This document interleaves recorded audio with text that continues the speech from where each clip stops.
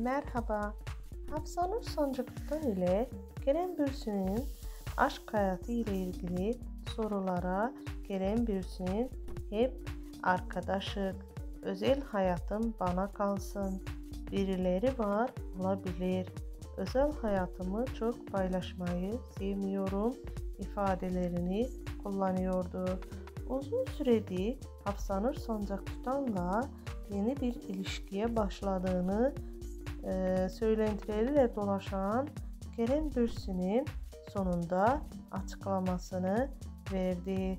Sosyal medyada Kerem Bürsin'in Hafsanur Sancaktutan'la arasındaki bir aşk olduğunu söyledi ve çocuklarının olmasını karar vereceklerini söyledi. Bu tarzda videoların gelmesini istiyorsanız hala kanalımıza abone değilsiniz. Abone olmayı ve like atmayı unutmayın.